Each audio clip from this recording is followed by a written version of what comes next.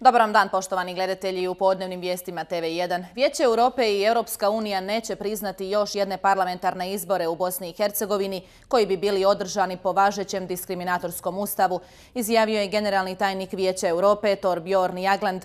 On se danas u Sarajevu sastao s predsjedavajućim vijeća ministara Vjekoslavom Bevandom. Naglasio je da je hitno potrebno da se prije ljeta krene sa rješavanjem presude Europskog suda u slučaju Sejdić-Finci, jer se najesen održavaju lokalni izbori, nakon kojih se opasno približavaju i parlamentarni.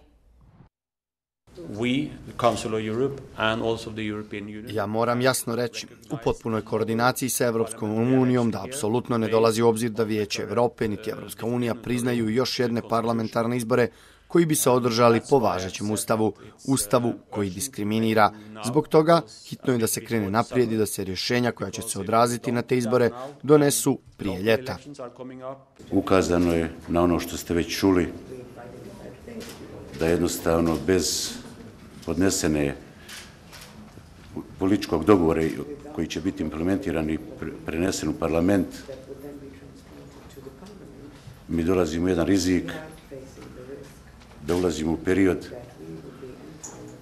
kad ćemo postati jednostavno zemlja kojoj se neće posvećivati više toliko pažnje i gdje ćemo groziti ono što smo već stekli, a to je članstvo u Vijeću Evrope. Predsjednik SDA Sulejman Tihić danas će u Sarajevu organizirati sastanak lidera SDP-a, SBB-a, stranke Zebih i SDA.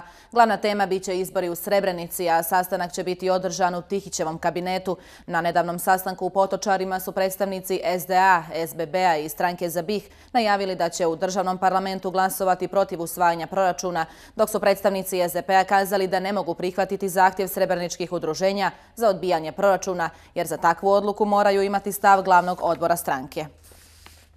Do kraja tjedna trebao bi biti održani sastanak delegacija SDP-a i HDZ-a BiH. Tema razgovora biće sastanak šestorke koji bi se trebao održati 16. svibnja u Mostaru. Čović je izrazio bojazan da bi bilo krajnje neodgovorno otići na sastanak ako ne bude riješeno pitanje Sejdić-Vinci. Dodao je da je potrebno rekonstruirati federalnu vladu koja djeluje neustavno. Centralna izborna komisija BiH raspisala je lokalne izbore koji će biti održani 7. listopada. Raspisivanje izbora za gradsko vijeće Mostara je odgođeno i oni će biti raspisani naknadno ukoliko se i kada zato steknu zakonski uvjeti. Izbori u Srebrenici bit će provedeni u skladu s izbornim zakonom RS-a, a odlukom CIKA smanjen je i broj odbornika u Skupštini općine.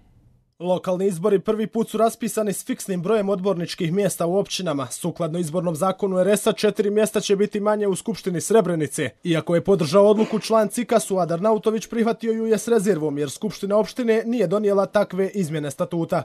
Ne bi trebalo da mi sad to utvrđujemo, nego da se isto pusti malo vremena jeli, da, da se tamo postigne neki konsenzus u vezi s tim pitanjem. Na kraju mislim da, da, da to neće biti sporno ako bude političke volje da se riješi sva pitanja vezana za Srebrenicu. Nezadovoljni odlukom su i u SDA i u stranci za Bosnu i Hercegovinu. Ovo je još jedan problem za Srebrenicu ističu. I stranke za BiH najavljuju i žalbu. Predsjednik CIKA Branko Petrić previše je koristio odredbe izbornog zakona RS-a koji razmatra i Ustavni sud BiH nakon zahtjeva predsjednika SDA Sulejmana Tihića.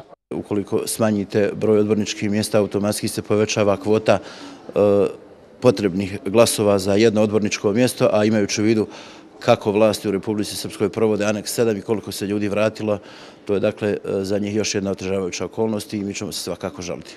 Provešte se izbori po zakonima kao i svim drugim opštinama u Bosni i Hercegovini i Republici Srpskoj. Čudno ističe Halilović da Centralna izborna komisija donosi odluke prije završetka arbitraže na Ustavnom sudu BiH. Lokalnih izbora, bar kako sada stvari stoje, 7. oktobra neće biti u Mostaru, nakon što je Ustavni sud odredbe izbornog zakona koje se tiču Mostara proglasio neustavnim, te nakon što ih državni parlament nije usladio, izbore za gradsko vijeće Mostara, ističu iz CIKA, nije moguće raspisati.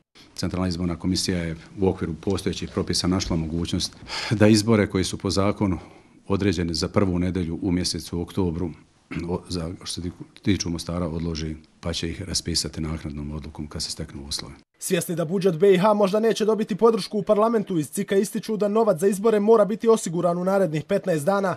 Ukoliko ipak budžeta ne bude, vjeruju da se novac može naći u okviru odluke o privremenom finansiranju. Centralna izborna komisija je smanjila takse za nezavisne vječnike s 1000 na 500 maraka, a za nezavisne kandidate za načelnike povećala se 1000 na 1500 maraka. Taksa za registraciju stranke u općini gdje joj je sjedište iznosi 2000 maraka, te još po 200 maraka za svaku općinu u kojoj stranka izlazi na izbore.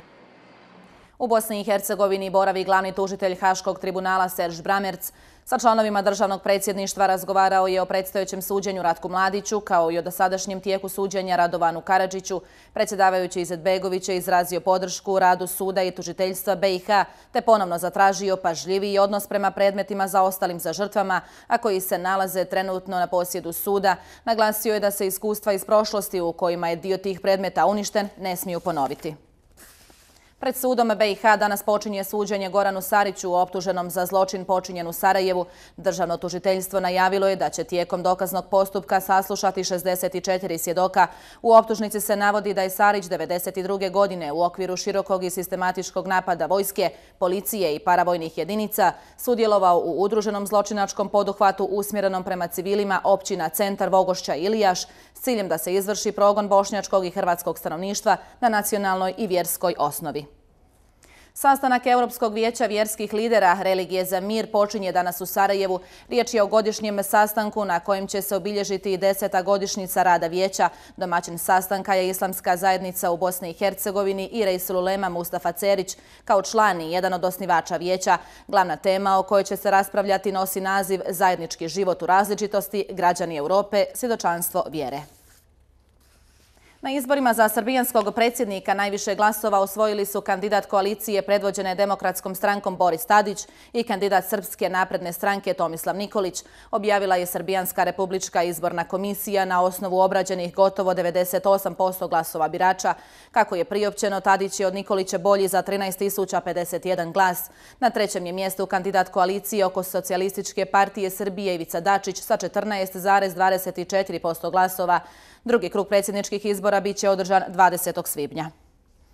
François Hollande, prvi čovjek Francuske koji je u drugom krugu izbora pobjedio Nikolasa Sarkozija, predstavio je evropskim liderima svoj plan za posticanje ekonomskog rasta koji bi trebao zamijeniti godine rigorozne štednje. Naime, Hollande je nekoliko puta izrazio sumnju u efikasnost fiskalnog stezanja koje nameće Njemačka, pa je u Briselu već dobio nadimak opasan čovjek. Hollandu su pobjedu čestitali brojni svjetski zvaničnici, a za prvu zvaničnu posjetu rezervirao je Njemačku. Kancelarka Angela Merkel je istaknula da ga čeka raširenih ruku. Američke i druge obavještajne agencije nedavno su spriječile bombaški napad na avion i zaplijenile eksplozivnu napravu, sličnu onima koje je ranije koristila Al-Qaida.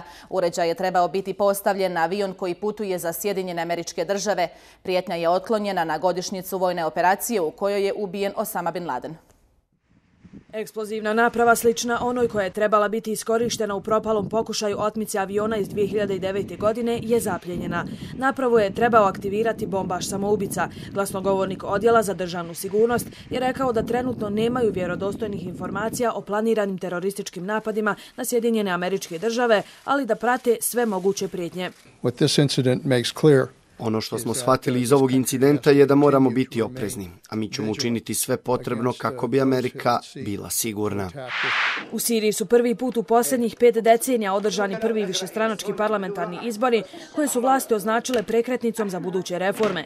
Međutim, opozicija je bojkotovala njihovo održavanje, smatrajući ih još jednim pokušajem predsjednika Bašara al-Asada da učvrsti svoju vlast. Sami izbori su održani u atmosferi nasilja u centralnim dijelovima, gdje su snage sigurnosti izvele žestoke napade na sela u kojima su opozicione snage odbile da glasaju.